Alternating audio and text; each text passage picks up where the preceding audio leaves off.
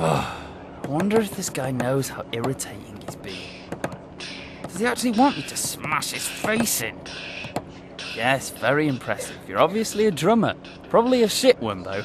Otherwise, you wouldn't feel the need to prove it in public places. Ah, stop! Should I tell him?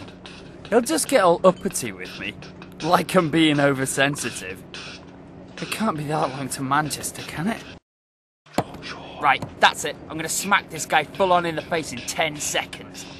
10, 9, 8, 7, 6, 5, 4, 3, 2. Ladies and gentlemen, we'll shortly be arriving at Manchester Piccadilly. Passengers leaving the service here, please remember to take all your